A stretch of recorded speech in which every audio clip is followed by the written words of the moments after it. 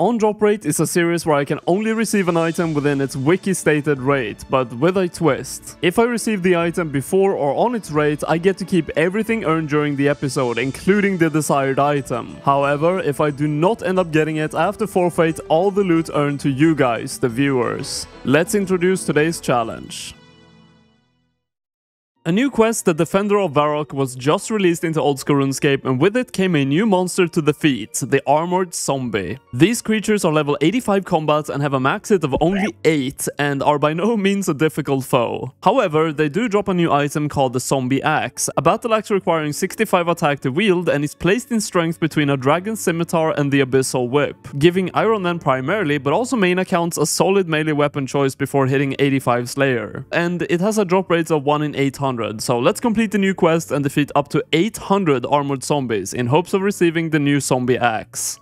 First things first, we have to complete the new quest, Defender of Varrock, and I actually miss one single requirement for this. What lies below? So let's go ahead and do that first. Oh no, how am I going to beat an old man in a fight? This is a disaster. But in the end, we managed to make it through the fight, and uh, that is the What Below's quest completed, for some nice experience as well in the war skill in the game. Look at those. Those are the new NPCs, the armored zombies. I will get a better look at them in just a bit after we complete the quest, so let's do that first. Oh, look at this Easter egg. They put someone in who had to level from 98 to 99 rune crafting. But there we go. That is the Defender of Varrock completed, 15k smithing, 15k hunter, and now we can actually get into the real grind of the video. It is a multi-area, but you can actually not use a cannon here. I brought it just to show you guys that it says a strange medical force won't let you set up a cannon here. Also, this is the the gear I'm going to be using. I'm not entirely sure if it is the best one you can go with, but I've heard the Venator bow is extremely good here.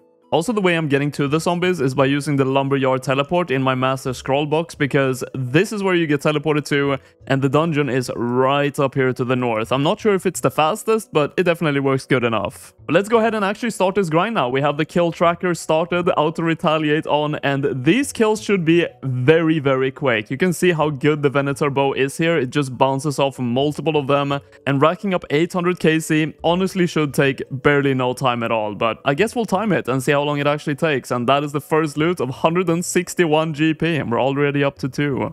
You know, as these monsters are primarily, in my opinion, the focus for Iron Man, because getting an Abyssal Whip on a main account, you can just buy it from the Grand Exchange. But for Iron Man, you have to actually get 80 Slayer minimum to then boost with a pie all the way to 85 to try to get your own Abyssal Whip, and these are way more accessible than that. And because of that, I kind of judge the loot depending on how good this is for Iron Man, and they do drop a bunch of herbs, and on top of that, also planks, and planks can be kind of tricky to get on an Iron Man. So not only are you going to get get a really good melee weapon while doing this grind, you're also going to get some really good supplies. And they seem to be very AFKable, even for lower tier accounts, because when I ran past here, I saw a lot of people here with lower tier gear setups kind of AFKing it, protect from melee on with dragon scimitars and all that kind of stuff. So seems like a grind you don't have to focus too much on. But we definitely have to do some rebalancing of my supplies. I have to teleport out now, I'm out of food, but we got 85 kills in 8.5 minutes almost exactly. That's a very nice and even number, and that means we're getting roughly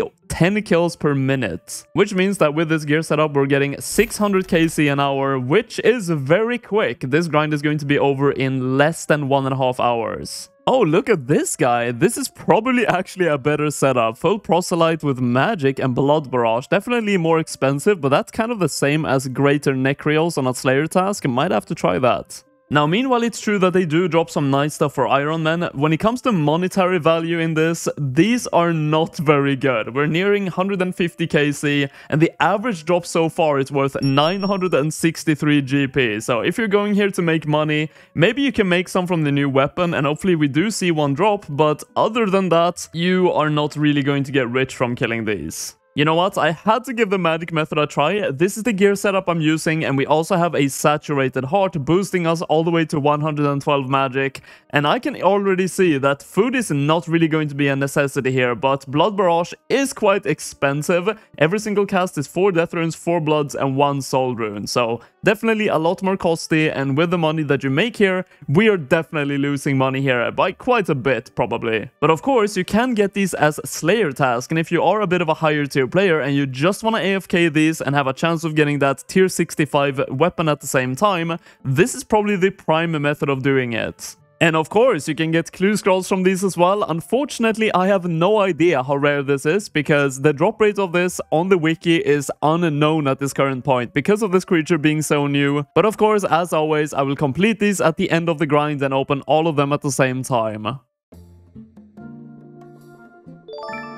Oh, we got it! Let's go! There it is! The broken zombie axe on 344 KC. Also a collection log slot. I actually looked through the collection log before, but I couldn't find it on the Slayer tab, so not sure where exactly it is. So if it's not in the Slayer tab, which I assumed it was because the Warped Creatures, the Warped Scepter is here, it's probably in Miscellaneous. Can I find it anywhere here? Yes, there it is, the Broken Zombie Axe at the bottom of it.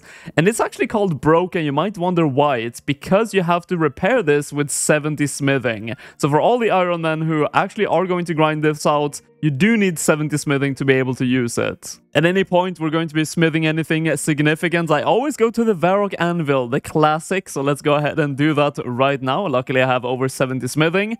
Let's see if we get any smithing experience for this as well. Yes, we do. 500, and that is now the repaired, fully equipable zombie axe. One-handed weapon looks pretty good, honestly. 105 slash, 90 crush, and that juicy 107 strength bonus. Now the axe is a one-handed weapon, so you can use a defender with it, just like the Abyssal Whip and the Dragon Scimitar, which is most likely the best two weapons to compare this one with, as it should be placed between them. Now one of the main differences though is that the attack speed of the axe is 3 seconds, meanwhile the other two is 2.4. But with no gear, no boosts, no prayer, no nothing. Let's see the max hit of these weapons. Dragon Scimitar is a 24, Abyssal Whip 26, and this Zombie Axe is a 31. That is a substantial difference, but I do think it's supposed to be worse than an Abyssal Whip, but definitely a very good weapon in between. And lastly, before we head over to the GE and see what we can sell the Zombie Axe for, we have a hard clue scroll to finish and open, and that should be the last step for 68,000 GP. Oh, wow. And there we go. It sold for 1.6 million, actually closer to 1.7 million. But this is the second day since the Zombies has been released. And on the first day, I saw some people sell it for over 4 million. But over time, because this is way easier to obtain than an Abyssal Whip, I think it's going to be placed at least below that in value, meaning probably less than a million in a couple of days. Now, before we end the video, I do want to say I have had on drop rate on a bit of a hiatus as I started my new series going from 0 GP to max cash, but when there is a new grind that's really interesting like the zombies, I do want to jump in and post a video about it as soon as I can. So in the future, you can definitely expect more on drop rates to come out over time, meanwhile working on my current new big series. But I hope to see you guys in my next episode, and until then, take care.